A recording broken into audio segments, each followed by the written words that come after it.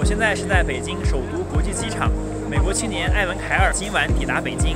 正式开启他的中国之旅，在现场可以看到有诸多的媒体和民众已经在旅客到达处欢迎他的到来。艾文凯尔来自美国的明尼苏达州。二零二二年八月，他收到了一本二战时期的相册，里面有大量疑似日军侵华的照片。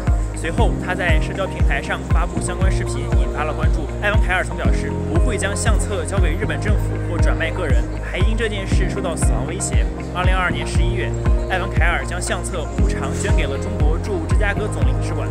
之后，艾文凯尔也被回赠了国礼词。Hello, Evan Kerr. Welcome to China. We prepared a small gift to you. We wanted to invite you to start amazing journey in China with the Beijing Pass.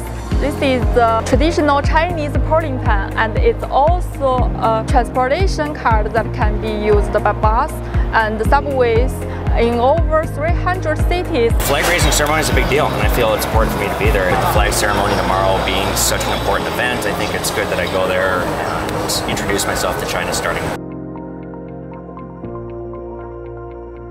So I got a sword recently. Um, it's like a historical replica sword, and I really like martial arts and I like weapons.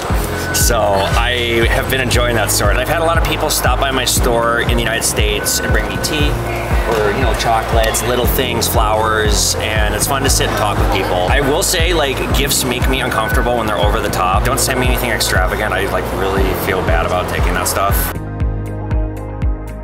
I thought it was important to show my respect here. This is my first time in China. I thought coming to this event here today as my first like real big public thing was uh, a respectful thing to do. This whole week I've been kind of too excited to sleep. So how many hours you sleep last night? One.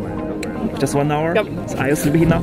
I'm excited. Excited to see how how they do the ceremony.